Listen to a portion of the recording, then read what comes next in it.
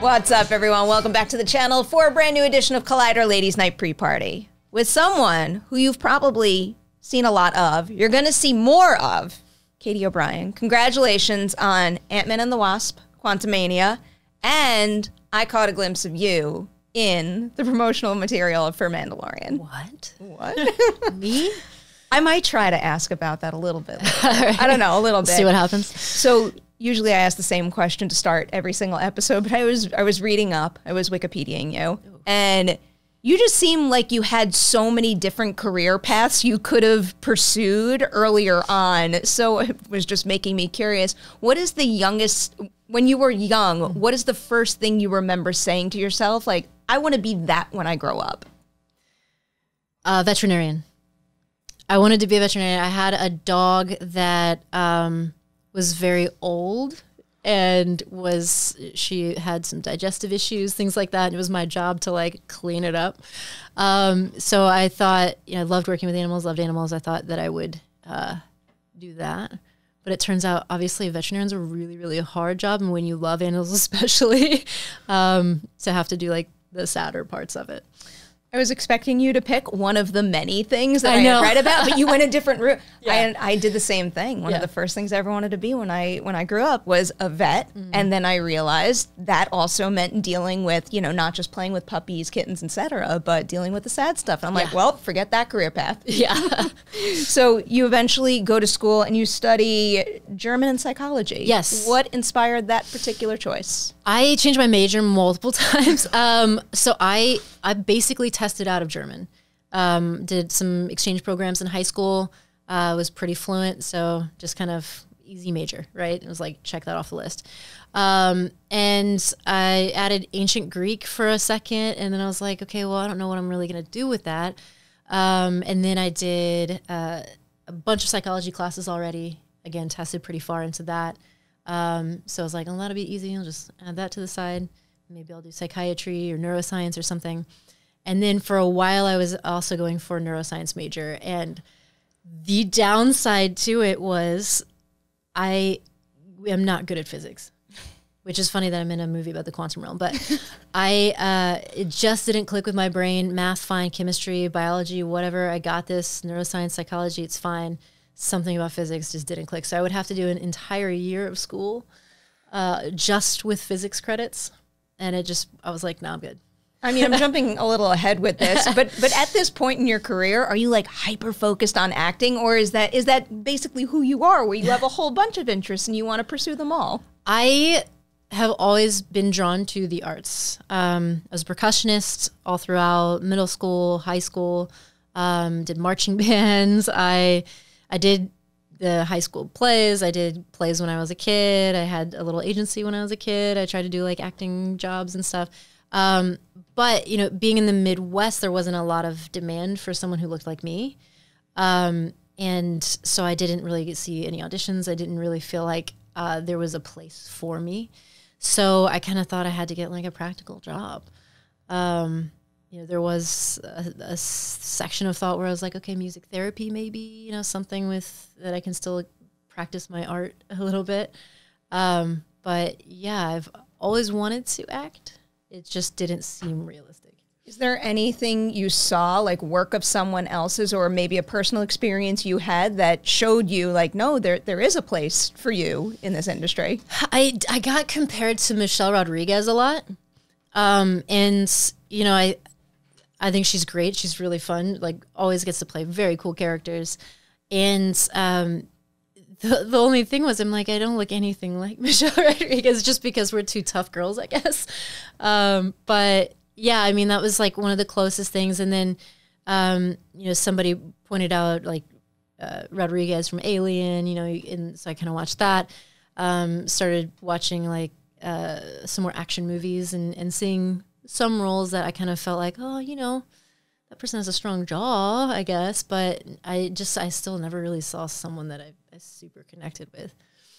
Well, I hope at this at this point, like at least I see the value in not necessarily seeing exactly someone who is Right. like you because I don't know, it just excites me when I see different kinds of people with different backgrounds Run run the list of unique qualities that I've never seen on screen before. Yeah, I mean, you don't want someone that's exactly like you because then, well, that's competition, right?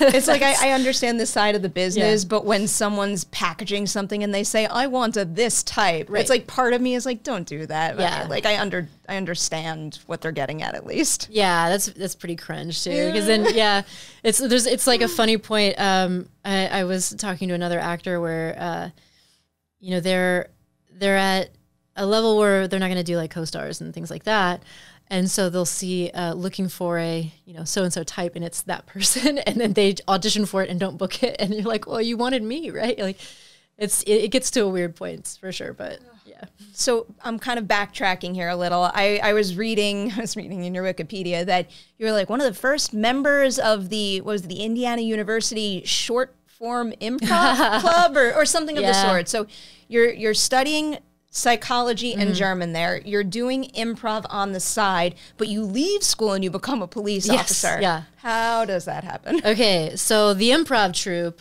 um, it's funny when you, like most kids are like, "Oh, I want to do comedy," and their parents are like, "No, you should be a doctor." Right? I was like, "Oh, I'm thinking about going a medical route," and my mom was like, "You should be a comedian," uh, which was insane. Uh, and when I went to college, um, I auditioned for an improv troupe. I think it was a long form, and I didn't really know anything about that, and I just gave it a shot. I thought it was fun. Went with another friend.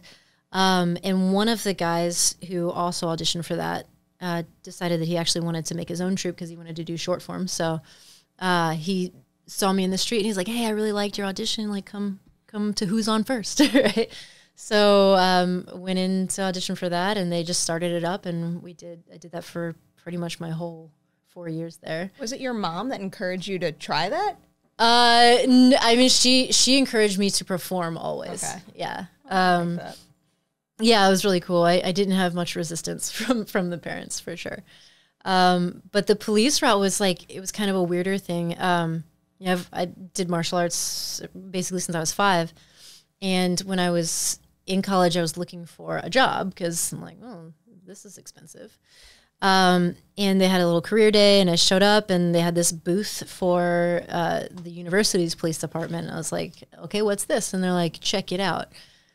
You get room and board, free room and board. I'm like, check, that's good, thank you very much. And then they're like, you get to go to all the games for free. You get to go to uh, any of those stage performances for free, all this stuff. And I'm like, okay, go on. Um, so they really sold it. And then they're like, then you go to police academy and you're a police officer. And I'm like, but like, you know, not like a real police. I was like, okay, sure. So I signed up for the program and you're basically like a cadet for a year. Um, and you just do like really general security around campus. And then you do go through police academy. And at some point it clicked to me. I was like, oh man, I'm, this is actually a real thing. And then you become a police officer. So after college, I kind of, I mean, it was crazy. I was 20 years old. That's insane. Like, I, in no way should I that have been possible. It's not Thinking about my brain space at 20. at 20. Are you serious? Yeah. And I've always been like very disciplined, like straight. You know, everything is in, in black or white or whatever. But you really start to see the gray as you get older, and and it's like, okay, you know, there's a reason people do things, and it's not just you know because they're bad. You know. Um. So yeah, at, at 20, that's kind of it was kind of wild. Uh, and then after college, graduating, I was like, okay, am I going to do an extra year of physics? am I going to go to med school? Or am I going to go just get an MD or a, a PhD and do psychology instead of psychiatry? And then all in all, I was like, I have to take a break. I can't, I can't do more school. I have to take a break for a second. And, uh, easy job essentially. I already had a certificate for it and everything was to join uh, a police department. So I did that. And in the meantime, really sat down and thought about what I really wanted out of life. And uh, all it was to act. So I found an acting class, um, built up a reel, gained my confidence. I had uh, my teacher, Jim Doherty, uh, like actually made me feel for once like I could actually do it. Um, so he he believed in me so much that he hooked me up with his agent, who's now still my manager, and uh, I took off to LA and gave it a shot. Oh my, I have so many questions. How specifically did he make you feel like you could do it? Maybe not his confidence in you, but some tool he gave you that made you, you know, made you feel like acting was a creative itch that you needed to keep scratching because it was that satisfying that you could do it. Yeah, I have three brothers. So a lot of uh, of my emotional expression growing up is basically suck it up and, and move on. Um, so yeah, we're not really like a huggy, you know, cry it out kind of family or anything. So uh, I felt like I had big emotional barriers, and taking that class, um, you know, we did things like coffin exercises and uh, I'm sorry, coffin exercises. yeah, it's like where you say like how you really feel to somebody that you can no longer talk to. So oh boy. yeah, I know. Just thinking about it, you're like, it's it's it's heartbreaking, you know, and and it actually allows you to open up and uh, and express yourself in a group of people, and it's really like it, you know, preface it as like a judgment free zone, you know, so. Um, you're not sitting there being like, "Oh, that was so stupid, Katy. Your emotions are terrible, and you're a worthless person." You know, it was always it was very accepting. And uh, we did another exercise where it's uh, kind of similar, but you're just talking to someone, like just talking to someone, and they no expression, just accepting it and letting however your emotions fall fall. Um, so that really helped me open up, and then taking that and applying it to someone else's words and someone else's experiences, um, and seeing that I could do it was, yeah, it was uh, a really big eye opener. Oh my, I'm not going to stop thinking about that now. um, one of the other follow up questions I had. So you said you moved to LA. When you take that plunge and you move to Hollywood and you try to make it as an actor, what is a piece of advice you got for doing that that proved worthless and didn't help you? But then what is a piece of advice that you would now give to another aspiring actor looking to move to Hollywood that actually did get you some momentum and start to book you some roles? proved worthless. I don't know. I feel like a lot of my experiences build up on each other. Um, I mean, I, I will say this: moving to Los Angeles, you can save up as much money as you want. it's gonna be gone. it's not enough. Um, so it's. I think having a plan is better than having a savings. Um, I mean, both are great, but I came out thinking as a Midwesterner, I was like, I have fifteen thousand dollars saved up, and like my first day, someone hit my car, and that was a chunk of my change gone. Um, so yeah, and then you know I got a job as a waitress, my first waiting job. I got fired within like three weeks. What happened? Uh, well, it was um, it's kind of a weird circumstance. Like I think the owner liked me and wanted to give me a shot. I wasn't great at it, um, but I'd you know been doing it for like three weeks, and uh, they were leaving and wanted someone who could actually run the restaurant. And I'm like, well, that's wow. not me. And then they also said that I would fit in better at a bar. Uh, they said that I had a, an intimidating presence or something. And I was like, well, I, I think I know what that's secret for. So I just, it's whatever. I got a lot to say about that. I know, I know. Um, but like, but the the interesting weird connection thing was, and I'd met with a career counselor before even coming out here through my alumni association at um, Indiana University, and she's like, "Dude, networking, networking, networking." So I um, actually hit up uh, my buddy Paul McCarthy, who's uh, not the famous singer Paul McCartney. Paul McCarthy. He's the head of Not yeah. he was uh, the head of UCLA's martial arts program. Yeah. And we went through the same Hapkido program at Indiana University. So hit him up and he was like, You want a job? And I'm like, Yes. so started working with him, um, teaching Hapkido, teaching self defense. And then he uh, was doing a program through Mount St. Mary's University. And the head of the athletics department there was Indiana University alumni. So I went over there, started teaching at Mount St. Mary's, and then I was like, well, what other martial arts stuff can I learn? So uh, I found this this program called uh, Little Ninjas, and it's basically an after school program where you like like wear all this cute little ninja gear and little headbands and stuff, and you go teach kids. They're pretty young, so martial arts isn't really what you're doing. You're kind of just burning out their energy to send them home to their parents. um, but it was it was so cute, and they they do such a good job, and they take it like very seriously. They they send you through an orientation program. You got to shadow people because you're dealing with kids, so you know you got to be good at it and professional. And there's a certain way to talk. I, I said stupid once in class. I was like, no, because that's stupid, and they were like. Sensei O'Brian, you said the S word. And I was like, I said shit. I'm like, what did I say it? oh, stupid.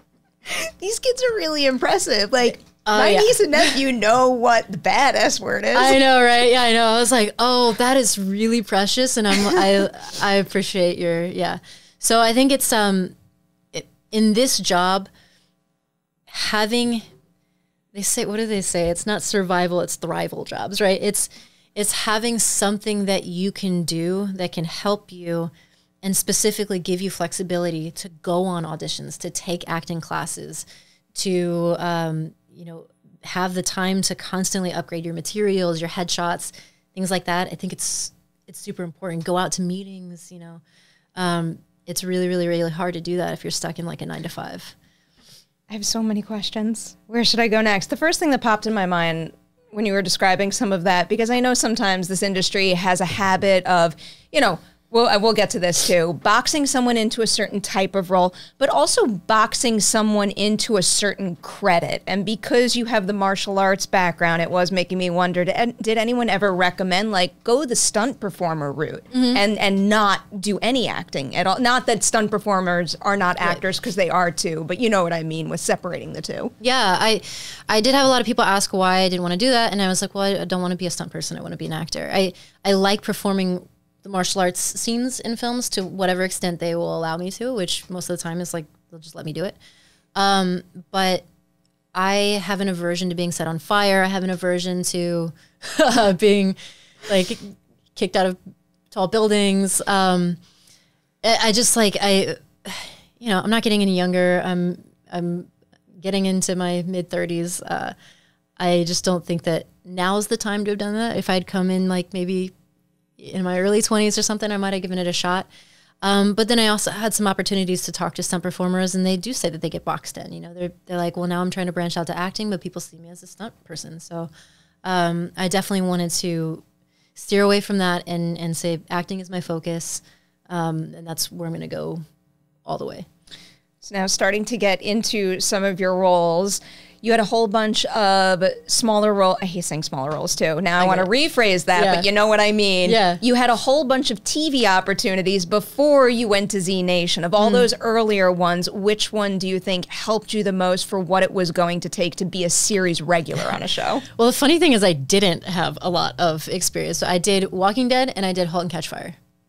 Two very important shows. Two very important. shows. actually, oh, and I did *How to Get Away with Murder*. Okay. But yeah, as you said, like I would say, yeah, smaller roles. And then um, I even when I was auditioning for *Mandalorian*, which I didn't know what I was auditioning for, um, I was like, oh, it's kind of a small role. And they said there are no small roles. It is, but it is really true. I think about it all the time Yeah. because if it, like, even if it's a scene where there's a ton of people and your focus is supposed to be on your lead character, if someone else in, in the back, like, if a background performer is not doing what they need to do, it completely obliterates It the, the authenticity of the world. It does. I think I, I saw one time, um, and I won't drop the show or what show it was, but they just had the background performers walking in a circle, and it took me out of it because I'm like, they're not walking like it was at a mall or something. They're just walking in a circle. That's I mean, I guess if it was Walking Dead and they were all zombies, right. That's one thing. Yeah, yeah. And there's like a brain someone's holding up and walking in a circle. Uh, but it, it, I think, yeah, every every role, every part matters. Um, it all builds the experience of, of what you're watching for sure.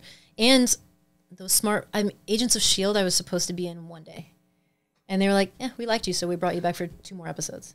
Mandalorian, I wasn't supposed to be in that much. And they're like, Yeah, we liked you, so we're gonna keep you in. And I was like, Oh, cool. That's awesome. Yeah, I So- need to get to that. Yeah, no small roles. Um, but it was interesting. I asked the showrunner um, for Z Nation. I was like, w- after you know, I've I've said probably a total of five lines on television, maybe less, and you're hiring me for a full thirteen episode arc where I'm one of the lead characters. Are you okay? and um, you know, he's they purposely give you like 13, 14 page auditions. They're really, really mouthy auditions, lots of dialogue, low budget show, lots and lots of dialogue. Um, and he's like, you delivered it the same every time without error. So I know that you can be consistent. And he's like, on your resume, I see that you're a black belt. That takes time, dedication, and effort. And I see that you did bodybuilding competitions. It takes time, discipline, effort. Um, so that gave him the faith to cast me in that part, which I'm very grateful for because it was a really really fun show. I think it doesn't get enough credit. It was like really fun to watch. It was so low budget. We're shooting outside most of the time. They're having to use natural light because lighting takes time. Yes. Um, and it just uh, for for what they were given, they did so much with it. And you know, people don't understand how hard it is to make something. every every single job on a film set or Yeah. or a TV shoot is so val. I could go on and on about the hundreds, if not thousands, of people you see in the Yeah. credits at the end of a film. oh yeah, So I want to go back to something that you had brought up this morning. I think I think the way you referred to it as getting only roles that felt like I think you said henchman. I was. I was Henchman henchman for a long time. So yeah. if that if that happens, how do you how do you break out of Mm. it? What because like casting is out of your hands to a degree. You can do what you can in an audition space, but sometimes what they give you is what they give you. So what can you actively be doing to change how the industry maybe views you in that sense? Yeah, I I used those roles as a stepping stone. Um, I think a, a lot of people hopefully would agree is like if you are getting cast, that's a good thing, and if you are getting work, that's a good thing, especially when you're first starting out. And then once you start to want to branch out, I had to start turning down roles, and I, I said specifically, I'm like, I'm not doing another henchman role. So either don't send me the audition or let me tell casting or whoever, I'm, I'm not coming in for that role. That's not how I see myself. That's not how I want to be represented on screen. And um, there was a project, it was a really big project for a certain uh, franchise that uh, it was again, it was another henchman role. And I turned it down. And because of that, I was probably able to audition for other projects in that uh, universe. just goes to show you sometimes you make the scary decision, but then it opens the doors to other opportunities you wouldn't have had otherwise. Yep. I mean, speaking of the henchman type role, then when the Mandalorian comes your way and you're you're an Imperial comms officer, i- is taking that role more about you know the people you're working with? Uh, are you a big Star Wars fan in general? What made you want to take that one? I mean, again, I didn't know what I was auditioning for. Oh, that's true. Uh, That's true. but um, when they said it was Mandalorian, I'm like, okay, that's a that's the one with the the baby Yoda, right? And they're like, yeah. And I'm like, that's I want to be on that. I mean, that makes sense. I'm like, do I get to see baby Yoda? And they're like, maybe. And I'm like, okay. Um, but I I wasn't, to be honest, I was not a Star Wars fan. Um, I my brother was, um, and he would watch it all the time when we were kids. And I just remember uh, R2D2 and C3PO being stuck in the desert for years. That's just what I felt like it was. It was like, it's just them walking around the desert. And like every now and then Luke and, and Darth Vader fight or something, you know? And then um, once I booked it, I was like, let me give it another shot. And I watched it start to finish. And I'm like, okay, I get it. It's pretty awesome. Um, I'm way behind on the mythology because like everybody else, lot. there's a lot. There's a lot. Um, but I I understood uh, the appeal. I understood why it's exciting and, and why it has such a big fan base. And then you start working with the people, and the people are amazing. Like I I was going through a really stressful time shooting The Mandalorian because I was also shooting Black Lightning at the same time, which is in Georgia. Mandalorian is um, not in Georgia.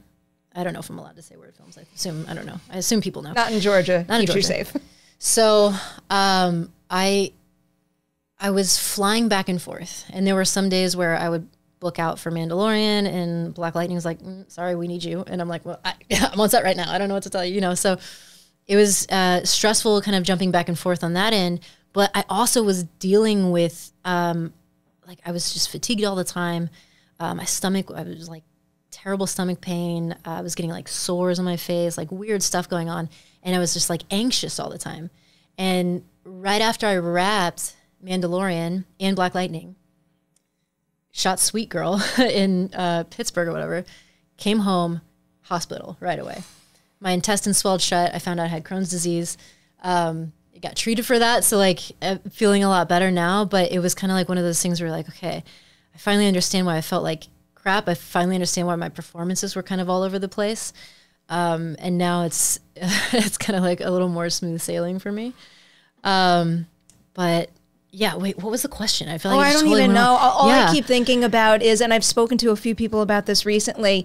It's like this this industry. I feel like the the job is hard enough that oftentimes it's very difficult to prioritize self because you're afraid Oh if you gosh. veer too far off course, the door will start to close behind you. But you can't pursue that path unless you put yourself first. Yeah, I I was and still am. I'm very much work, work, work. Like I I love to work. I like I like to push myself really hard. Um, but yeah, it's nice to have little reminders. Maybe not nice, but it you you need those reminders to to step back sometimes and focus and take a breath. I like that that positive spin on challenges like that. I need to remind myself of that a little more often than I Yeah, do. yeah. Um, for Mandalorian season three, when you when you found out what you were actually doing and you were working on that role, did you have any idea that they were going to continue that character into season three, or was that a complete surprise when they told you? complete surprise. Yeah, I don't know what you're talking about. Um,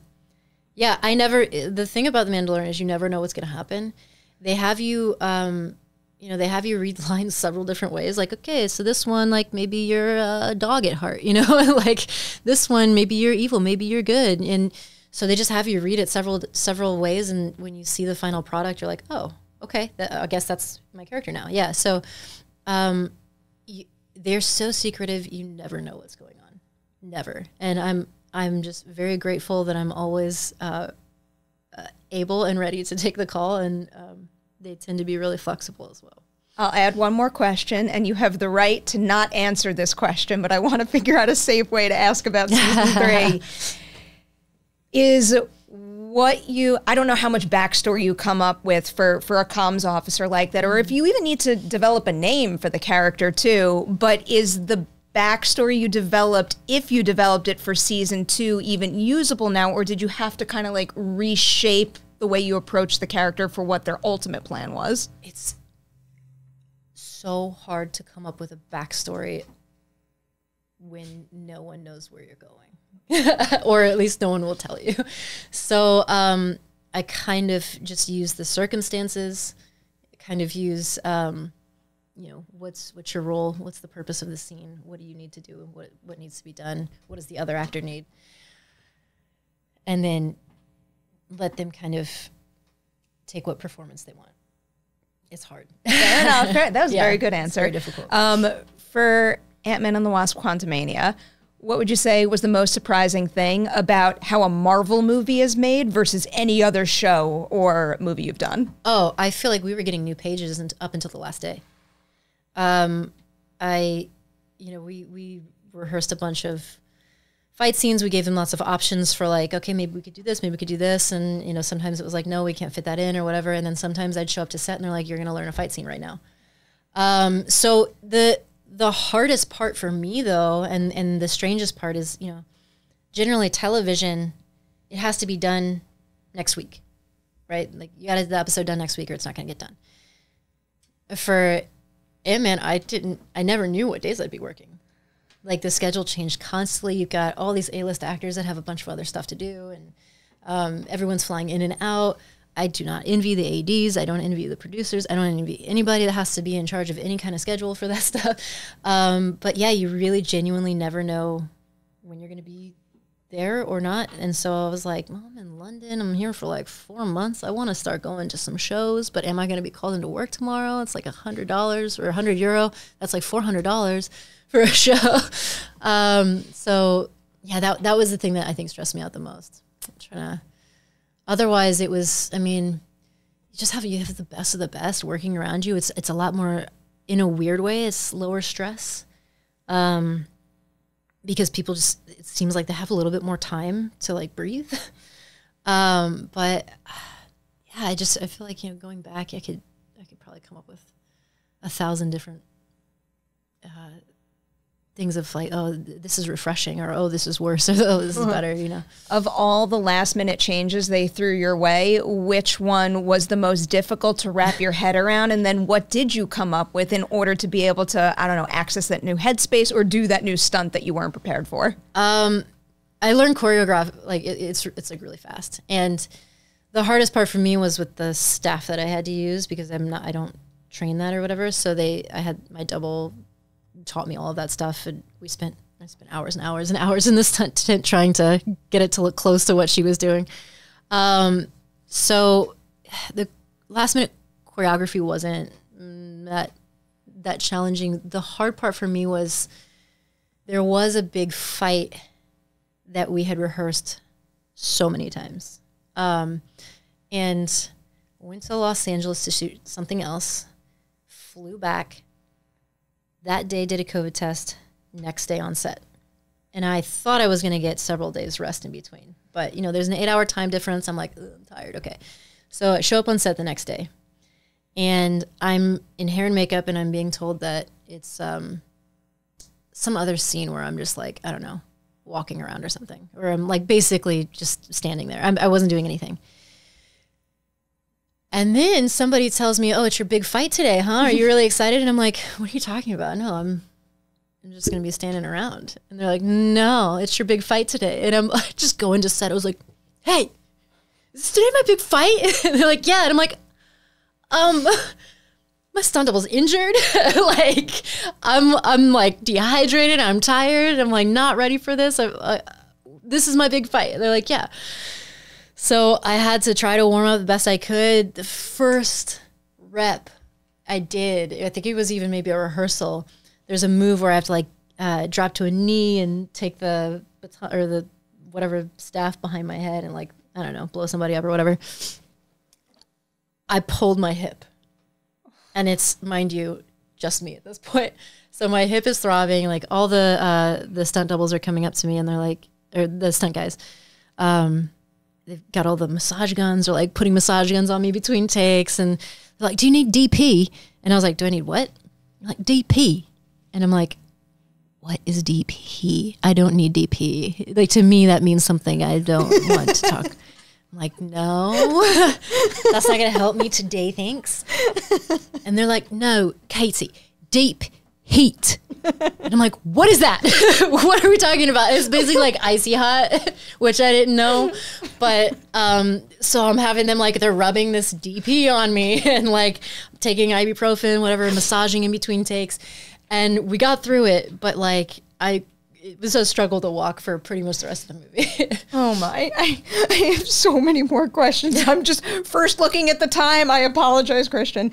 Um, I'll ask you one more Ant Man and the Wasp mm. Quantumania question, and then I do want to squeeze in uh, one question about l- love lives Lies bleeding. Love lies bleeding. Mm. Okay. For Ant Man, you had told me earlier that there's less of a focus now on the relationship between Jentorra and Janet than what we see in the final film. Mm. And it was just making me wonder how might have Jentorra's arc in the movie have been a little different if she had spent that time with Janet versus Cassie. Yeah, it's so hard to say. Um, I think that with Janet, it would have been more of a, a Janet redemption arc. Um, so I guess it's it's with Cassie, it's more of Jentorra accepting this outside outsider as someone who has um, helped. So it kind of is more of um, less of a redemption arc for Janet in that sense, which I don't think would have really contributed much to Jentorra's story, and more of um, you know, hey, we can actually work together now. Like you're someone I didn't believe in at first. You're a kid. You're naive. Um, but now it's like, all right, I get that your heart is in it for the right reasons, and thank you. Okay, interesting. I always, I I want to explore every single corner of the world and all the different relationships, and it's like it blows my mind how we have the quantum realm. I know. like even in a couple movies now of getting to go back in, we've experienced like that teeny tiny dot of it. No, I know. It'd be so cool if we got to do more. It's just uh, there's there's so much there that you know they just it's basically has to be in the background, and it's such a quirky, fun little world, and um, yeah, they could they could do limitless things with it. It's it's like there's there's an interesting I think it's Hermann Hesse quote, and, and I'm not even going to try to do the quote. Um, but the concept of it is, you know, we can only write about or tell stories about what we're familiar with, essentially. So even when we're thinking about what is the possibility of the quantum realm, we have to pull from situations and scenery and things that we already know exist. You know, you're never going to see like an alien that looks like something so out of this world that we haven't seen it before, you know. Um, if you've never seen lava before, it's going to be like a whole new like life-changing experience. So I feel like the quantum realm they have an opportunity to try as hard as they can to branch out of what is actually possible, what we've actually ever seen before in the world and it's a hard task to do, but I think it can be.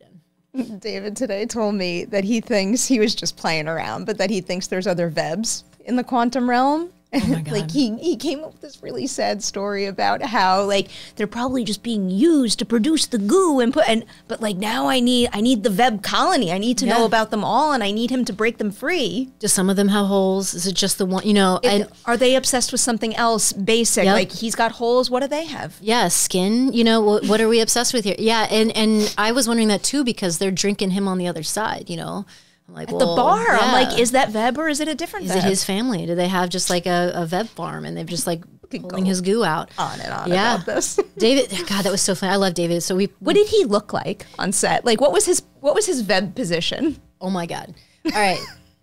First of all, love David. We play board games together all the time. He's, yeah, we're like total dorks. Um, so he is a big dude. Like he's what, six two or something like that.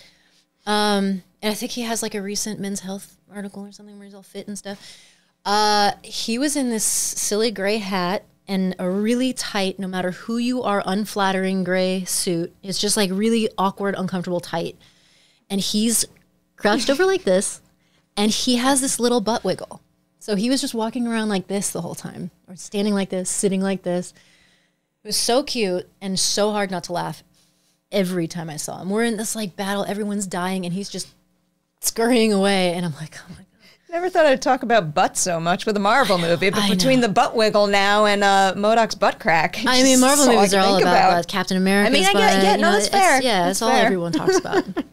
All right, I'm going to squeeze squeeze in my one question about about Rose and also Mm-hmm. Yes. Chris. I love them both, so I don't know. Tell me anything about the movie and working with Rose as an actor's director, but maybe also something about Kristen that surprised you as a scene partner. Okay. Um, so Love Lies Bleeding. Uh, it's a story about a bodybuilder who I'm trying to think of it all I am allowed to say. Um, goes into this small town. We meet uh, our love interest, uh, Kristen, and um, craziness ensues there on out. Uh, it is Sold. Yeah, yeah. It's Rose Glass. It's A24, so it's going to be a little wild. Um, and Just when you say wild, Mm-hmm. is it like genre? Is it like horror leaning wild at all? there, you know, it, it might just be Saint Maud kind of, you know, giving me an impression of it. yeah. In, in the original script, there were a lot of Saint Maud kind of moments. Um, these were like body horror, that kind of thing.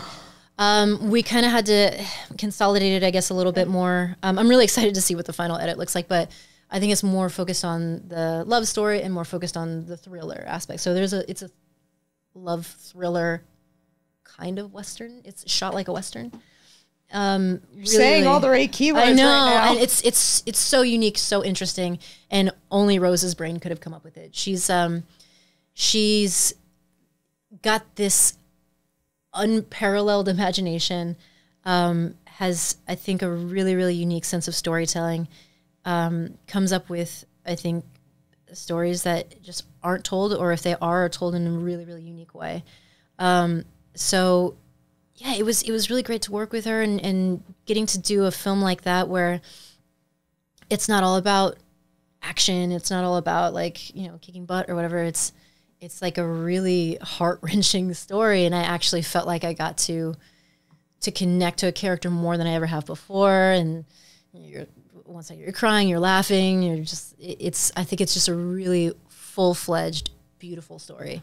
um, and I'm I'm super super excited for people to see it. And Kristen, you know, when you when you get to work with someone who's, I mean, she's been in the industry forever. Um, she's been in some of the biggest movies in the world. Um, she's yeah been around forever, and to see that a she's still passionate about projects. I love that. I love to see people who've been in this business forever and it hasn't crushed them completely, and they're like super passionate about what they're doing. Um, she's taking other steps, producing projects. She's branching out into other projects, um, working on writing stuff, things like that. Um, so to see that is really great, and then to see that uh, she's a super supportive, um, just a great person to, to be in the room with. She's not not a whole. I know this like I don't want to sound make this sound like a bad thing. She's not intimidating. Um, she makes herself very uh, down to earth and easy to talk to and especially for a movie like this where you, you you have to be very intimate with somebody and you know it's it can be uncomfortable awkward weird whatever um, she's very disarming and it makes it uh, just a walk in the park so None of that surprises me. I've Yeah. only heard the best about her as as a scene partner and a collaborator in general. I cannot wait for that. I'll just keep my fingers crossed for more Jentorra. I want to see you in Mandalorian season three and whatever else you want to do beyond all that. Katy, huge congratulations on you. everything you accomplished. Thanks for sharing your stories on Ladies Night. thank you so much it's been fun